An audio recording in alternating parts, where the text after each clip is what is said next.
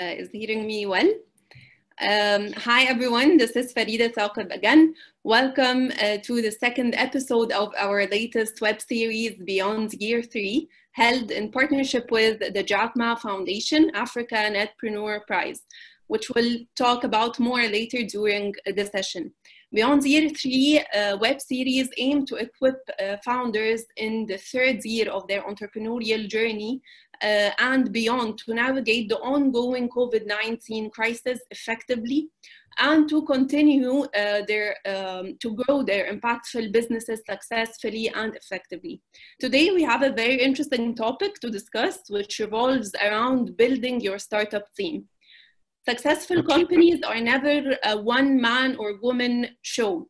To thrive sustainably as a, as a startup, uh, you need to learn how to hire the best people, help them develop into leaders, and keep them excited to work for you and your organization. In this webinar, we'll discuss what is organizational culture, how uh, to attract and retain the best talents for your organization, and how to use your leadership skills to protect, uh, to project, sorry, uh, confidence and security to your team during crisis. In this session, we have a very uh, special guest, Belal ElMegharbel, CEO and co-founder of MaxAB, which is an e-commerce platform that connects uh, brands to grocery and retailers and food retailers in Egypt. He has extensive experience um, in leading teams and leading businesses. He worked at, uh, as the GM for the famous ride-hailing company Careem, uh, where he led the launch of Careem's new services in Egypt. Hi, Belal. Hi, Farida. Zaik. How are you? All good. Uh, I'm really excited to know and to hear from you uh, today. We'd love to have this session as interactive as possible. So everyone who's uh, watching us on Zoom or on Facebook, you can leave your questions and comments in the comment section. Um, I'll leave you for 30 minutes and I'll be back to discuss the questions and answers. Um, Belal, the floor is yours. Thank you very much. How do you want me to start? Um, just introduce yourself and go ahead. The sure. floor. Yeah. So, um, hello everyone. Thank you guys uh, for joining. Uh, I really think uh, that uh, uh, the Jack Ma Foundation and uh, the Africa Netpreneur Prize is, Uh, is a great way for, uh, for the continent in general uh, to start thinking bigger and start gaining traction when it comes to startups. It's one of the ways I think the the continent can leapfrog and catch up with uh, with the developed world uh, very quickly. So I think it's a great initiative, I'm, uh, and I'm very happy to be of any help and to participate in any capacity in trying to support the organization. So a little bit uh, about myself. My name is uh, Belal ElMegharbel. I'm the co-founder and CEO of a company called MaxAB. Uh, if you guys haven't heard about us, we're a B2B e-commerce platform that connects the small uh, mom and pop shops directly to uh, food suppliers, and we do manage the entire supply chain for them as well. before that, I used to, to run Careem here in Cairo, Egypt. Uh, joined uh, Careem uh, before it was a unicorn. walked step by step with an organization that I really respect and love and see, and saw how it evolved from a small team to pretty much a global team of around 2,500 people across the MENA region and Pakistan. and I'm very, very thankful for this experience. Uh, and that's uh, that's pretty much uh, who I am. Uh, to get into the, the discussion of, uh, of this topic, uh, we're here today to talk a little bit about culture and the importance of culture in building any organization. and first of all, guys, do not undermine culture whatsoever.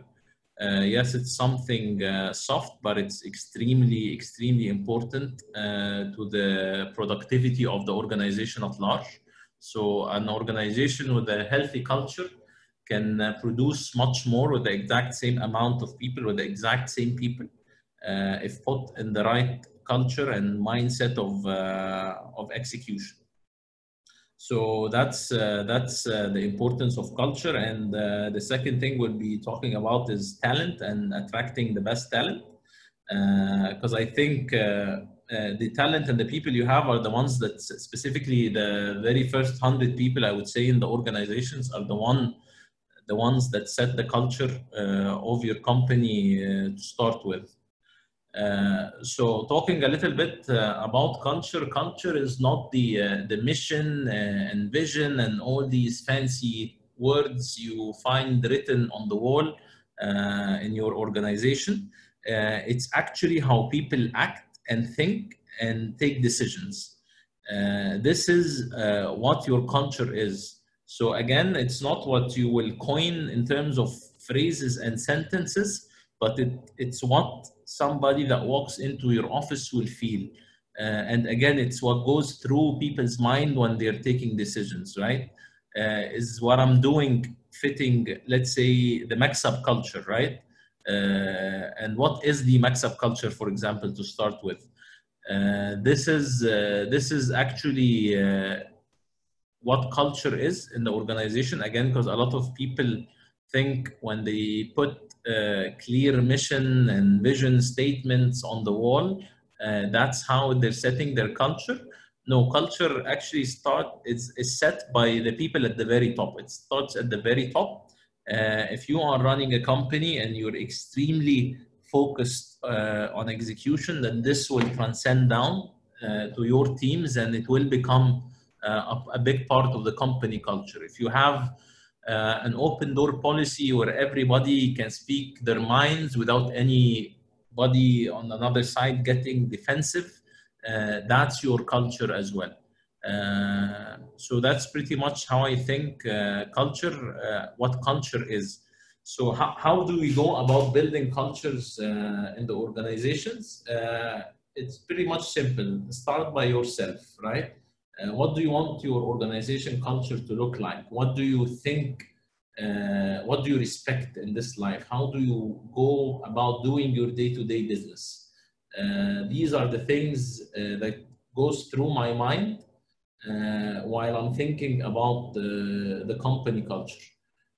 and then I start thinking about, is this actually happening on ground? Is, are people uh, acting the way I would love them to act uh, is pretty much how you measure uh, that is, if your culture is is behaving the way and the manner you want you want it to be. So I don't want to to get uh, very deep into the culture element, even though it's um, it's I think again it's extremely important and it can be uh, one of the main drivers for producti- your productivity on uh, your organization but it takes so much time to build uh, and i don't think a webinar uh, of 30 minutes or so would be able to cover uh, a big part of uh, how culture building happens. But what i really want to talk about today is is talent. How do you attract the best talent? How do you keep them engaged uh, specifically in the time of crisis. I know that that's a broken record. We've been hearing so much about uh, how do you manage, how do you scale, how do you do whatsoever, how do you live, how do you survive in the times of uh, COVID-19 and uh, Corona. Uh, so I will talk about it a little bit more generic, disregarding uh, the current situation, while just giving it a little bit of a, of a touch in terms of uh, of what does it mean now and how cu culture and having the right people helps you to operate in extreme uh, time of crisis uh, like the ones uh, like the ones we have now. So basically, how do how do you attract the the the, the best talent? The question is first of all very simple. Uh, the best talent lo love to solve big problems, right? So make sure you're working in a very a tough problem that needs actually the best talent to come on board and fix it. So if you're doing more of the same uh, of any other uh, what any other company is doing, mm, I don't think that that's a good driver uh, for you uh, to attract uh, the best talent out there. Uh, the second thing is do whatever it takes to get them on board and always have the A type of kind of caliber. Because if you guys, if you hire the Bs, uh, the Bs will only hire Bs and Cs and Ds, and you will get stuck uh, in that loop that is very hard uh, to break uh, later on. So I won't stress on the importance uh, of hiring fast and firing fast uh, enough. It's extremely critical because if you keep uh, the bad apples in your organization, they they mess uh, they mess the good apples as well. So a very simple strategy is the right people on the bus, the right, the wrong people off the bus as quickly as possible. Uh, and who are the right people? Who are the people that you want uh, on board uh, on that bus with you in this very painful long journey? Uh, right? These uh, these are the people uh, that pretty much for me are the people that are extremely bright minds that wants to so solve big problems. Uh, that the that see the values and are aligned with me on uh, on how how we want to take this company forward and the big problem we are solving. Uh, again, a big problem is what gets everybody excited to start with, and that's what top talent I've seen love and respect more than anything. The, uh, the second part is pretty much treating them as equals because uh, they are uh, your partners in this, regardless of the titles. Everybody in the organization, your top talent, your management team, are your partners in in in building this. So you have to listen to them exactly as equal, uh, and that's uh, and that's very helpful for them and for you uh, as somebody that are, are trying to manage an organization and build an organization that is still small and you want to grow it uh, from uh, a team to a tribe to a village to a continent uh, you have to treat the top talent as equals you have to listen uh, to what they say extremely carefully. Everything they say have uh, you have to keep them involved in the decision making because uh, it is their job as well, right? So you cannot do everything on your own. You have to involve these uh, calibers uh, that uh, other than that, it becomes pointless to have them if you aren't going to listen to them right? So that's a little bit on uh, on attracting uh, att attracting the best talent. Now, how, how do you retain the best talent you attract is by keep, keeping them engaged, making sure you're solving one hard problem after the other. Uh, so pretty much uh, you have to keep them engaged and you have to keep thinking forward a little bit forward uh, so that they can come on board and join you on your train of thought uh, in building uh, the company you are trying to build. Now, in the time of, of this crisis, leadership is extremely important. A lot of people in this situation suffer from whether they, we like it or not. They're emotionally everybody is extremely stretched to his their limits uh, and people tend uh, so a problem that big uh, in the time of Corona now will will sound like it's that big, just because everybody uh, is already in very. I'm sorry, I'm reading one of your questions. Okay, sure. Could you walk us through Max? Should I answer the, the questions now or should it be at the end of the webinar? We can do it at the end of the webinar. Okay, sure. So yes, so I was talking about uh, leadership in in uh, in the times of Corona, uh, and I was just saying that uh, a problem that is that small that, that small will feel like it's that big just because everybody is not close to each other. Nobody can picture what's going through. They cannot read your reactions, so they actually don't know if that's a big problem or a, or a small problem. So I would say communication is key. uh, in general, and specifically in the time of Corona, the, the magnitude of it just got multiplied by, by 4x. Uh, that's how important uh, communication is uh, in these times. People are stressed out, people are uncertain because these are uncertain times. And your job is to pretty much uh, breach this gap and figure out ways uh, to bring the people together. Uh, talk to your people, talk to your people about how they're feeling, their emotions, how stressed uh, they are uh, in this uh, times and then you need to project confidence right even if you are not very certain about what the future entails with hearing about about so many layoffs a lot of people are getting salary reductions and all these things these things are okay and they will happen and they used to happen before corona and they will continue to happen. Uh, but what's important uh, in these kinds of situations, again, is to stay super clear in communication uh, and to understand Uh, the emotional needs of your team. Uh, uh, it's not my type of person at all that is very keen about, to be frank and honest, about people's emotions when it comes to work. But lately, I've figured out that it's actually super important for uh, for a manager or a leader to start and understand why are people behaving this way what kinds of emotional situation uh, are they in now are they stressed? Are, they not stressed? Are, they certain? And are, they not certain? And out of my calls with my colleagues over the past month i figured out that everybody including myself is extremely uh, worried from the situation at large. It doesn't have to do have nothing to do uh, with the job itself, but it's uh, it's about the family you have that you're uh, you are, you're fearing uh, about, right? It's about your colleagues that you, that you respect a lot and you like a lot and fearing for their safety. It's about uh, our warehouse workers uh, and what does this means for their lives, for their paychecks, what if we have to take hard measures, right?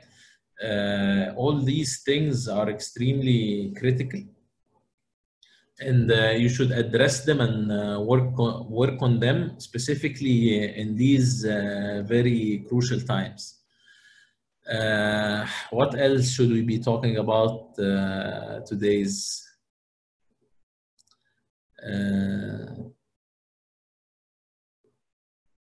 So I can uh, I can get back a little bit uh, to my favorite topic again and uh and the best talent and, and building the best teams. Uh, I would want to add to what I've uh, I've just said that everybody that will come into your organization they have done their own experiences before. They came with with their own culture uh, and people tend to do whatever uh, they think is right uh, if everything is not in a single place. If you do not communicate what's important for your culture and what do uh, what does your organization respect about people and what does it uh, does it want the people how does it want your people to function uh, is extremely important. So as much as I've mentioned at the very beginning of this conversation that uh, the culture is uh, is not uh, the mission and vision that you write on the wall. Uh, thus, on another note, no, it is what uh, people think when they walk into your office and what people think when they're taking action. But that doesn't negate the idea of writing these things on the wall, right, and making uh, you just have to practice what you preach. You just have to do them, right? There's no point of having them on the wall if you're actually, these are not the four things, for example, that comes to people's mind whenever they need to take a hard decision or whenever uh, they need uh, to make uh, a critical hire uh, in the organization. Uh, so yeah, so having these things written somewhere so that people can refer to is something also that is extremely important as well. So uh, excuse me if I'm a little bit tired. You guys can imagine uh, the fasting, and uh, we're actually uh, operating 24/7, and we're uh, we're selling people's food at the end of the day, so we cannot. Uh, so we, we have to keep operational. So it's been a, a couple of, of super stressful weeks. Uh, but let me uh, start uh, and take some of your questions as well. so we get this to be more interactive and I don't fall asleep in the middle of it. Um, I feel you. I feel you, Belal. Thank you so much for your insights. Uh, we have a couple of questions. Um, someone is asking, could you walk us through MaxAB's culture in a bit of detail? And are you hired now? And what type of talent are you targeting? So actually he's asking three questions in a one, but let's start okay. by uh, answering what's MaxAB's uh, culture. Okay, so let, me act, uh, actually answer them in reverse uh, order. So I'll answer the last part of the question uh, first. What type of talent are we targeting? Uh, it's quite simple. It, it is go-getters that go and get stuff done, right? The people that don't wait for you to tell them what they do. Uh, our culture and our strategy here actually is to empower the people that are closer to the problem, the people that are closer to the problem are the best people uh, to solve this problem for you, right? Uh, and the uh, the strategy is to empower these guys uh, and create this uh, loop or feedback cycle that allows us allows me personally to learn from them and try and give them as much guidance uh, as I can. So the, to the point of talent, this is the, the go-getters that uh, really don't need somebody to tell them what to do. Uh, specifically in a startup uh, kind of an environment, uh, nobody knows the right answer. You're building something that is completely new. So you, got, you kind of have to empower these guys that are closer to the problems. And these guys have to be go-getters. They should not wait for you uh, again to tell them what to do. They have to be extremely fast uh, extremely execution uh, driven uh, at the very start of an of any startup execution is execution is key across but imagine when you have limited mm, amount of cash and limited human resources uh, you really cannot afford uh, to start dreaming right? You have to uh, to stay very focused on the problems you have and execute on them. So execution executors is what we want. And uh, this is uh, the kind of caliber uh, we target. are we hiring now? We're one of the, thankfully, we're one of the very few companies that are hiring now since we're selling, again, people's food at the end of the day. So we cannot afford uh, to slow down our operations uh, and we're proud of it we don't mind it uh, it's what keeps us coming to the office uh, every day or come, going uh, to the warehouses and the operations every day to make sure that we're delivering uh, what people need in these times. What is the the MaxAB culture in a little bit a little bit of details basically uh, i don't want to keep repeating it but uh, MaxAB culture is a culture of execution it's a culture of getting stuff done uh, it's a super open, uh, we have an open door policy. You can walk into any meeting, uh, listen to what your colleagues are saying and pitch in ideas if you really need to. We actually have these open Saturdays. We used to have them when say, things were a little bit smaller when we, when we used to bring uh, talent and uh, people from other startups and companies uh, and engage them in, in discussions as well. So it's a culture that's trying to learn uh, from what people have done. There's uh, a lot of things that people have done, and a lot of people have done it better than uh, what we have, uh, what, what we can think of. So we, tr- we try not to reinvent the wheel, right? We try and get whatever is working and build on top of it. Uh, so that's how I think we've been hacking growth so far is where we start from where everybody else ended. We really don't try and uh, and reinvent the wheel. We, we we get creative by improvising on uh, what people have ended at, not by restructuring complete solutions. I don't think it's the right approach, specifically uh, for startups uh, that are still quite small. Also, this is what actually differentiate, differentiates uh, startups from corporates is, is having an open culture that everyone can uh, pitch in their ideas and speak up and uh, so on. So it's very important for startups to have this culture um, uh, going on. Uh, we have another question. Um, do you have an internal decision-making matrices to guide your culture of execution rather than leaving it as a free-for-all? You have an internal decision-making matrices? Uh, yes, so the idea, actually, our, our theory is uh, is very simple. Uh, first of all, you cannot optimize what you cannot measure, right? So we set a way of measuring uh, whatever decision we're going to take, and then we take it and figure out did it work or it did not work. We actually encourage experimentation and failure big time. Uh, you do not learn except if you fail and fail quickly. If you're failing quickly, you're learning quickly as well. Uh, and putting the right mesh in place where you can actually measure the impact of uh, what you're testing. So theoretically, uh, just test one thing at a time. Don't test a hundred things at the same time because you actually wouldn't figure out which one of them worked and which one of them did not work, right?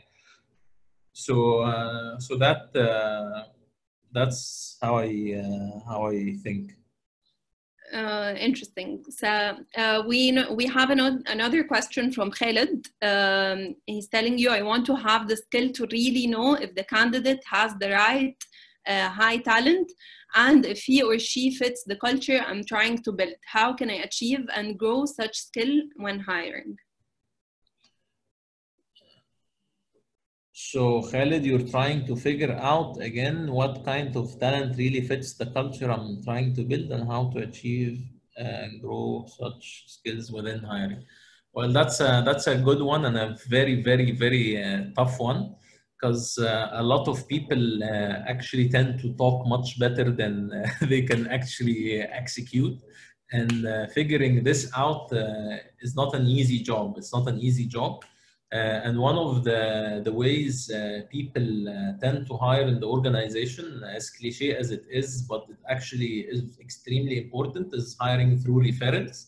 So, so tr I trust the, the judgment of the people I trust, right? So if I trust Farida and she tells me this guy is actually good, which means he executes quite well, uh, then uh, this is one of the very good ways into hacking your way through hiring as well.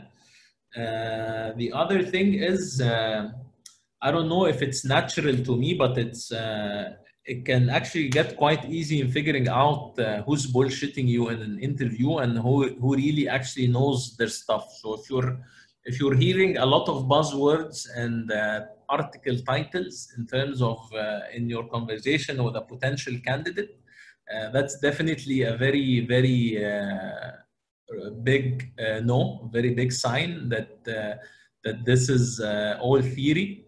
ask a little bit about things that have that you've actually done, things that uh, they've executed on, and uh, and then from your answer you have to figure out, uh, and you have to be knowledgeable as well before asking these questions with different cultures, different sorry businesses that these guys are coming from, so that you can actually relate to their point um, grow Okay, we have an, we have questions coming from Facebook. Um, someone is asking you, Ahmed Al-Shafai is asking you, can you hire someone uh, who is super qualified, although you you you don't have a clear position for uh, for them? Uh, you can do that uh, at the beginning, uh, but not as the company grow. Uh, as you be, at, at, the beginning, you you need all the help you you can get and you can put your hands on uh, but as you grow uh, and you have an organization in place and you have uh, people's uh, KPIs uh, already in place and you don't want to actually create redundancy because I assuming that the people you've hired are already good, right? So even if there's somebody else that is good uh, and and there will be some some conflict here or some redundancy here, you're, you're wasting a good resource. So a good way uh, that and, uh, that we have started implementing lately, and now it's after a year and a half, is actually having the KPIs for anybody that's joining the team predefined uh, before he actually joins, right? Uh, if you do not do that at a, at a later stage, uh, it will become problematic because uh, people that are good actually tends to want to do something. And if you really don't have something for them to do, they will leave anyways. So, uh, so actually try and figure out and set their KPIs before they actually join the organization. Okay, we have another one coming from Facebook. Uh, if you were to choose one value for your organization that you believe is the most important, what will it be? Uh, one value? It's a tough one. yeah, it's a super tough one, but uh, uh I think uh, one of uh, one of uh, one of our uh, core values is being genuine to our customers. And this implies a lot right? So if you are to be so this summarize a lot of the other elements. If you are really genuine uh, with the customer, you will deliver on time. So operations have a part on it. Uh, if we actually don't deliver on time, there's uh, our customer success team will make sure that they resolve uh, the issue really quickly. Uh, it also means we will be pricing our products right. So, so this uh, being genuine towards our customers is, I think, one of the values that I I would really care about. Uh, okay, relating to this question, we have another one coming from Yusri El Tahir. Uh, he's asking you what are the other uh, core values for uh, and how did you identify them? Uh, so so pretty much uh, again uh, I don't get the, the, part of how do we identify the core values.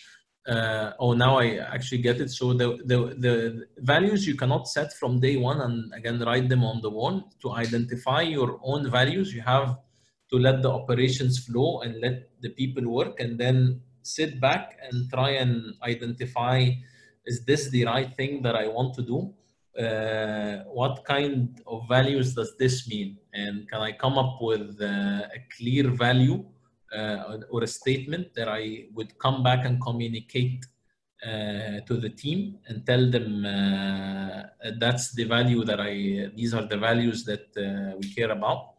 Uh, so again, uh, being genuine is is one of MaxAB core values.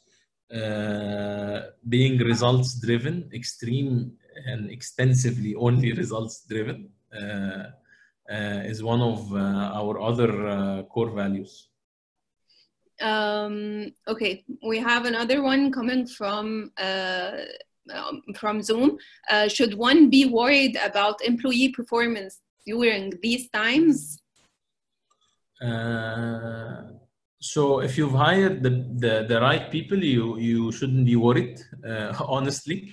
Uh, but uh, to be more frank and realistic, yes, you should be worried, not because people are slacking, but again, because of uh, the emotional difficulties that, uh, that the, in this city, the, the, the current situation, the current times have put on all of us uh, and that's that's what you really should care about and address with your uh, uh, colleagues at the company. Um, okay. Uh, okay, so we have a, a, very tough question from Mahmoud Al Jinzi. He's asking you how to fire an employee and keep the high spirit in the team. Uh, so first of all, uh, let's talk about the pre-firing decision, right? Why, why, why are you firing somebody in the first place? You're firing uh, somebody. There's so many reasons uh, of, of firing people, right? You're either really no longer Uh, need this uh, need this role in general, or people are uh, under. I'm guessing Gendy is asking about the underperformers and the organizations.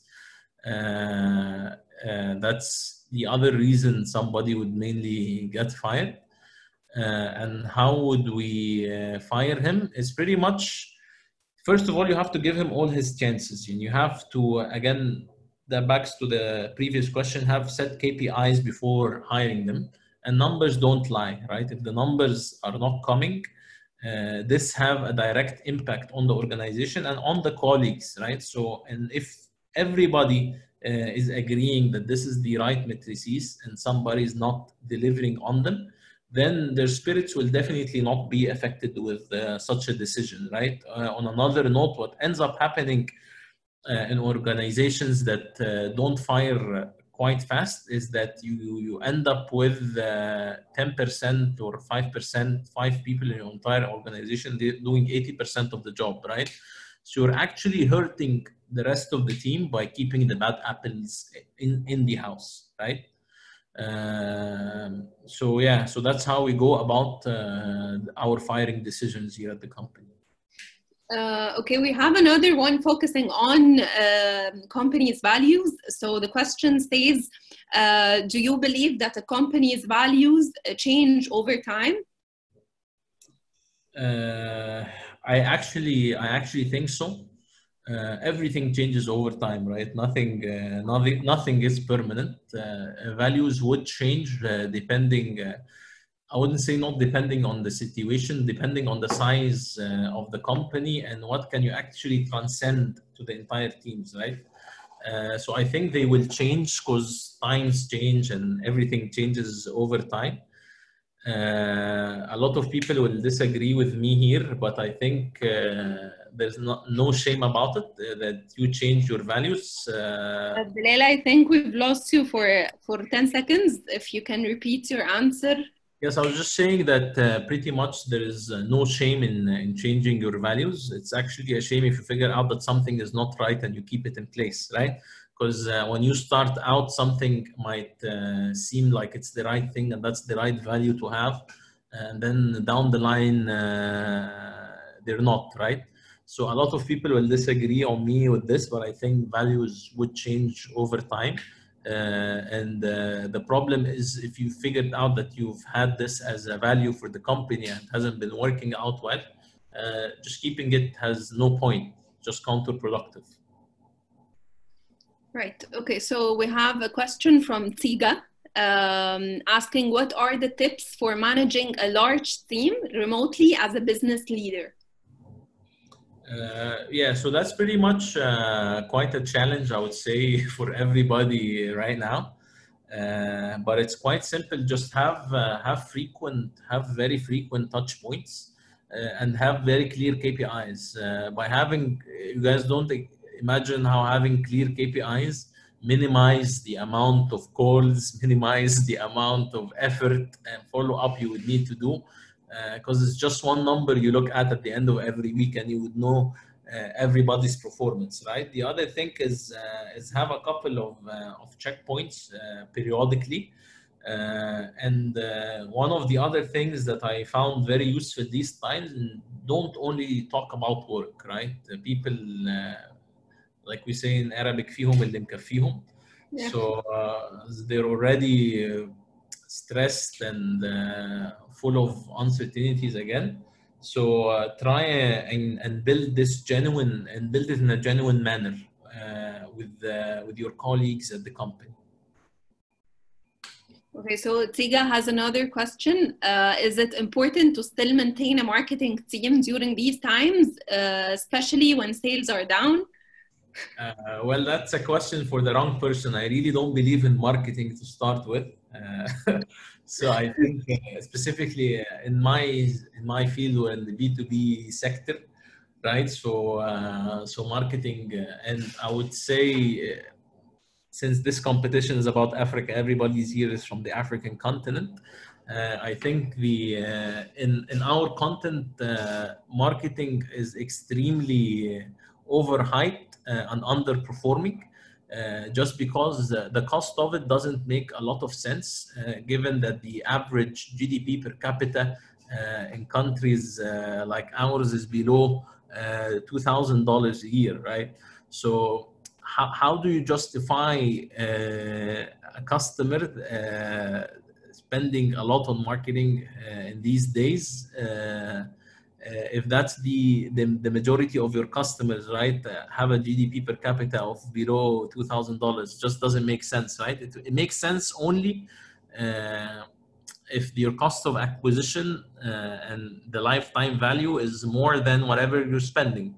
Uh, but in these days, I would stay focused on keeping afloat and staying alive, right? A lot of uh, companies, unfortunately, will start going down like flies uh, this coming period because a lot of the the past four years have been insane, honestly. Uh, there was a huge hype uh, in tech in tech at large in uh, in valuations uh, funding was uh, was much easier. So a lot of people were were running after the wrong numbers. And now this is the moment. Now is the time. This is the moment of truth where real businesses will show up and uh, you will figure out that they are real businesses and businesses that are, were built mainly on KPIs to solve for uh, investors' appetite will also show very clearly. Okay, we have one last question coming from Sharif Fagih. Um, he's asking you, how do you see the transformation of MaxAB from a small uh, startup to a corporate that is having different shape now? Uh, that's a good one. Uh, this uh, this change uh, is uh, inevitable. Uh, the ultimate goal of a startup is to grow the company at the end at the end of the day, right? So what does that mean? Corporates are not usually bad, right?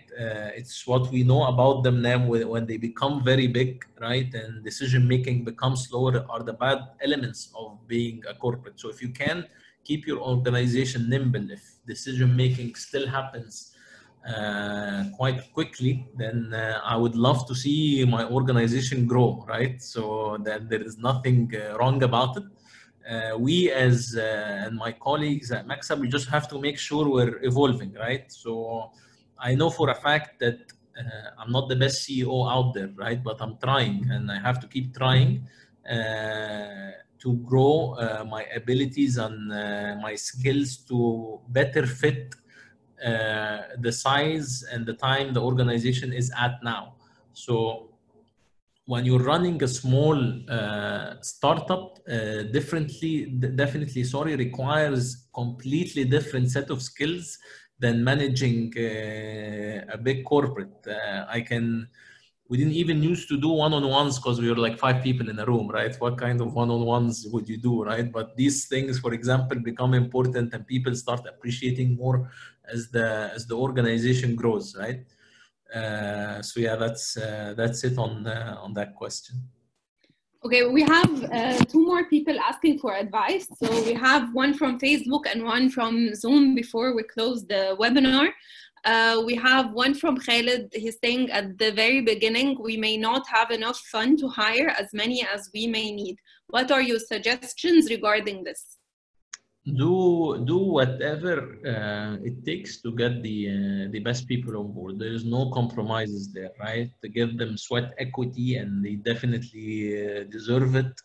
Uh, sell them the job, right? Uh, if if you're solving a big problem, Khalid, people will want to be a part uh, of this. They would want to leave an impact. Uh, these these guys are driven, are extremely impact driven, right? They want to see uh, their impact. So put a lot uh, of effort in it uh, and be fair. Uh, be generous in sweat in sweat equity and sell them the job. Right? They will come. Okay, the other one is coming from Ahmed El Hawari. Uh, he's asking for a startup working in the field of online recruitment. How do you advise to start getting their first client? Well, uh, I think uh, yeah, that startup is about the right time, right? A lot of people are looking for jobs now. Yeah. Uh, so they, they, usually your first uh, customers won't come from uh, from your online platform uh, right? They will come uh, mainly offline. Uh, just pick up the phone and call whoever has registered, call everybody you know in a company uh, and see who's hiring and how can you make uh, that a good fit for them, right? There's no shame about hacking your way uh, offline till you get there, but just uh, but just put the effort in getting it there, even if it's hundred percent offline. Um, okay, thank you so much, Belal, for uh, your insights. That was was really uh, useful. Um, and do you have any closing notes for the for the attendees? Uh, so I, I, just would summarize very quickly. Culture is extremely important. It's not what's written on the wall. It's what you guys uh, what somebody would walk into office feels. It is uh, what goes through your mind uh, when uh, you're taking decisions. So make sure you have that right that right. The right people on the bus wrong people off the bus very quickly is the other major thing about hiring. Wait for as long as it takes to get uh, your A talent because uh, the Bs will hire Bs and Cs and Ds and that's what you don't want. So keep stay for as long as you can till you find these A calibers that you really need. Uh, and yeah, these are tough times. Stay strong, guys. Uh, hustle. It's time for uh, for the continent to start hustling. So I wish you guys all the luck uh, in this coming uh, uh, competition. hopefully, you guys all make it somehow. Thank you so much, Belal. And for everyone who uh, doesn't know about Africa Netpreneur Prize, uh, it's a pitch competition for all, for all African uh, entrepreneurs or across Africa for a chance to win a share of one and a half million dollar and uh, to pitch to Jack Ma himself. I'll leave you uh, with a very short video to know how to apply. And thank you so much for tuning in. Um, thank you guys. Bye. Thank you guys. Have a good